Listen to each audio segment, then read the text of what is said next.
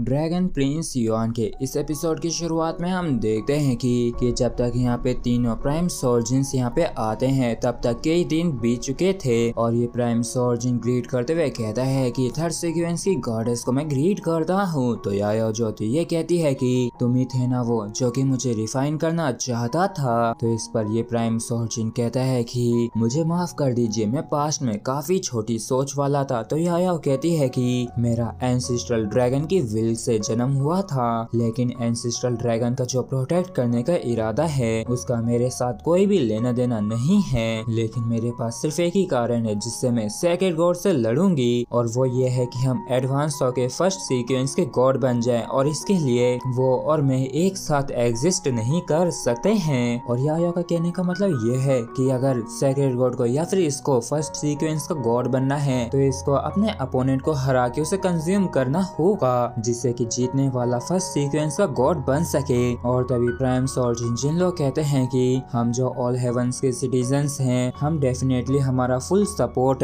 Third sequence की goddess को ज़रूर देंगे। और तभी ये जो फीमेल प्राइम सोल्जन होती है, ये कहती है कि, अब जब थर्ड सीक्वेंस की गॉडेस अवेक हो चुकी है तो क्यों ना हम इस मौके का फ़ायदा उठा के सबसे पहले सेकेंड रेस के हेवंस के ऊपर अटैक कर दें। तो इस पर या जो होती है, अपने कर्ज पॉइजन को बाहर निकालते हुए कहती है कि, मैं तुम्हारे ओपिनियन से एग्री करती हूँ, लेकिन उससे पहले मुझे एक सुटेबल जगह की ज़रूरत होगी, जिससे कि मैं इस पॉइजन को वहाँ पे सील कर सकूँ, जिसके बाद ही मैं बाकी की चीज़ों को सॉल्व करने के बारे में सोचूँगी। और इतने ज़्यादा खतरनाक पॉइजन को दे के जिन लोगों की भी हालत टाइट हो गई होती है, लेकिन तभी हमारा हीरो यह झायुआन कहता है कि, ये जो गॉड एनिलेशन कर्ज पॉइजन है प्लीज़ इसको मुझ पे छोड़ दीजिए। मेरा प्लान ये है कि मैं इस अल्टीमेट कर्ज पॉइजन को कांसवान हेवन के सबसे डीपेस्ट पार्ट में रख दूँ और जिस हिसाब की गॉड एनिलेशन कर्ज पॉइजन की पावर है, उससे हम सेक्रेट गॉड की जो विल की विस्प है, उसको खत्म कर सकते हैं। और झायुआन की इस बात को सुन के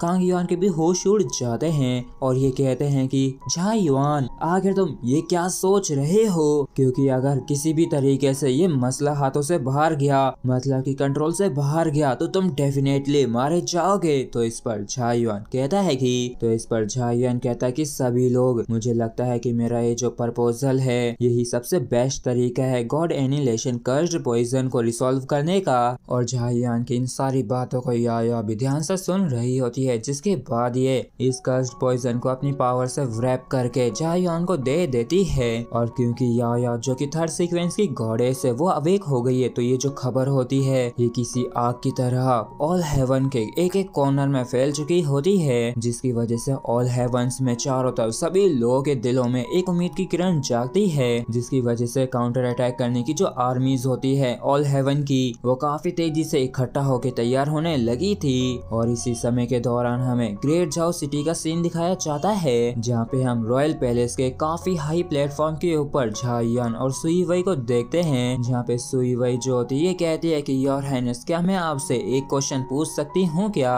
कि आखिर आपने ही क्यों? गॉड एनिलेशन कर्ज पॉइजन से निपटने वाले सबसे खतरनाक काम को आखिर आपने ही क्यों स्वीकार किया? तो झाइयन कहता है कि ये जो पॉइजन ये इकलौती ताकत है, जो कि गॉड्स के लिए खतरा है और उन्हें डरा सकती है। तो अगर हम इसे किसी तरीके से अच्छी तरीके से इस्तेमाल करते हैं तो शायद ये काफ़ी ज़्यादा गजब की अपॉर्चुनिटी बन सकती है। तो इस पर सुई कहते हैं कि, योर हैनेस क्या आप इससे उस रियलम तक पहुँचने की कोशिश कर रहे हैं? तो झायुआन कहता है कि, मैं इस अपॉर्चुनिटी का फ़ायदा उठाना चाहता हूँ और देखना चाहता हूँ कि क्या मैं सच में उस सो कॉल्ड गॉड्स के डोमेन को टच कर सकता हूँ या नहीं। और तभी झायुआन के आगे एक काफ़ी खतरनाक सा पोर्टल सा अपीयर हो गया होता है और इसमें जाते हुए झायुआन कहता है कि मैंने याया से वादा किया है कि अगर वो अपनी डिवाइनिटी से नहीं निपट सकी तो मैं अपना बेस्ट देने की पूरी कोशिश करूँगा, जिससे कि मैं उसकी मदद कर सकूँ। और झायुआन के इन बातों को सुन के सुई वही जो इमोशनल हो गई होती है और कहती है कि योर हाईनेस इस चीज़ से कोई भी फ़र्क नहीं पड़ता है कि आप क्या करना चाहते हैं। मैं हमेशा आपको ही सपोर्ट करती रहूँगी। और झायान जो होता है, बिना कुछ कहे बाय बाय करते हुए अंदर जाने लगता है तो सुई हुए पीछे से चिल्लाते हुए कहती है कि योर हाईनेस मेरी और कोई इच्छा नहीं है। मैं सिर्फ़ यही चाहती हूँ कि आप जो है, वो सेफली लौट आए। जिसके बाद हम देखते हैं कि झायान जो होता है, इसने स्पेस वोटेक्स के अंदर एंटर कर लिया होता है। और इस अंधकार से भरे हुए कुएँ के अंदर, ये अंदर ही अंदर जाता जा रहा था। और काफ़ी ज़्यादा नीचे सेक्रेट गॉड की विल का एक फ्रेगमेंट यहाँ पे दिखाई देता है, जहाँ पे झायान आ गया होता है। और यहाँ पे आने के बाद झायान जो है सोचता है कि ये सेक्रेट गॉड की विल है और ये सिर्फ़ एक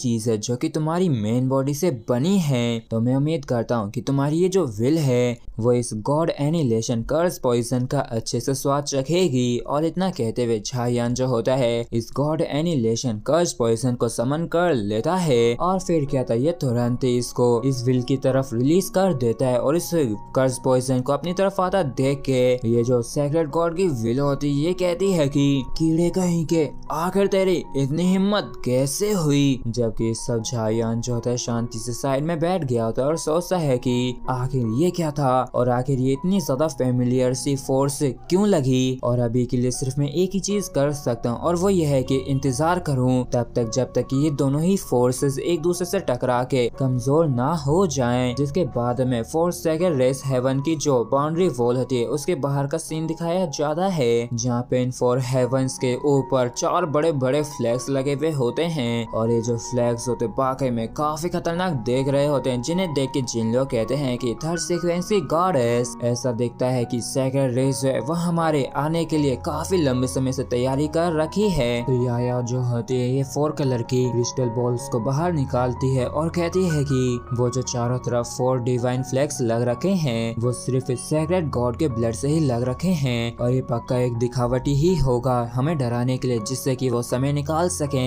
और इतना कह के याया जो होती है, इन चारों ही पल्स से काफ़ी ज़्यादा खतरनाक तरीके से अटैक कर देती है। और ये पल्स जो होते किसी ड्रैगन की तरह काफ़ी तेज़ी से आगे बढ़ने लगे थे और इन फ्लैग्स के ऊपर काफ़ी खतरनाक तरीके से अटैक कर देते हैं। और जब इन दोनों ही पावर का क्लैश हो रहा होता है, तभी हमें सेंगजू हेवन में सेक्रेट माउंटेन के पीक का सीन दिखाया जाता है, जहाँ पे कोई कहता है कि क्या तुम सभी ही तैयार हो? अगर हो तो फिर चलो शुरू करते हैं। और इसके इतना कहती आसमान में बिजलियाँ कड़कने लगती हैं और चार में से दो हेवन से होते हैं। उनके अंदर से काफ़ी ज़्यादा अजीब सी पावर रिलीज़ होने लगी थी और ये लोग कहते हैं कि शेंग मिंग हेवन और शेंगलिन हेवन के अंदर जितने भी हमारे लोग हैं, उन सभी को ही सेक्रीफाइस कर दो, जिससे कि उनका जो ब्लड है, वो लौट के उनके एंसिस्टर तक जा सके, जो कि हमारे गॉड को समन करके उनकी मदद करे। पूरी तरीके से अवेकन होने में, जबकि सब जिन लोगों को भी समझ में नहीं आ रहा होता है कि आखिर ये क्या चल रहा है, और यह बताती है कि उन दो हेवंस के अंदर जितने भी लोग थे, उन सभी के सभी को ही सेक्रीफाइस कर दिया जा चुका है। और अब उन सभी का जो ब्लड और एजेंस क्यू है, वो सभी एक साथ ही सेक्रेट पैलेस के अंदर एंटर कर रहा है, जो कि सेक्रेट गॉड की अवेकनिंग की रफ्तार को काफ़ी तेज कर दी है। और तभी हम आसमान में देखते हैं कि दो जो जॉइंट हैंड्स होते हैं, वो स्पेस को तोड़ने लगते हैं और स्पेस को इस तरीके से टूटता देख के सेकंड रेस के जो लोग होते हैं, वो हैरान होने के साथ साथ काफ़ी खुश होते हैं। और जैसे ये उस फिगर को देखते हैं तो काफ़ी खुश होते हुए अपने गॉड को ग्रीट करने लगते हैं। मतलब कि सेक्रेट गॉड जो है, वो अवेक हो चुका है। और तभी इसी दौरान हमें कांसन हेवन के डीपेस्ट पार्ट का सीन दिखाया जाता है, जहाँ पे हम इस कास्ट पॉइजन और सेक्रेट विल को एक दूसरे से टकराते हुए देखते हैं, जबकि झायुआन की भी नज़र इन पे बनी हुई होती है और कुछ समय के बाद झायुआन को अपना फाइनली मौका मिलता है और ये कहता है कि आखिरकार जिसका इंतज़ार था, वो अपॉर्चुनिटी आ ही गई और हम झायुआन की आँखों में एक अलग सा जोश, अलग सी चमक देखते हैं, जैसे कि अब ये काफ़ी कुछ बड़ा करने वाला है। और इसी के साथ फ्रेंड्स हमारा एपिसोड जो है, ये यहीं पे खत्म होता है। अगर आप लोगों को वीडियो अच्छा लगा हो तो प्लीज़ सब्सक्राइब और वीडियो को लाइक करना बिल्कुल भी ना भूलें। Thank you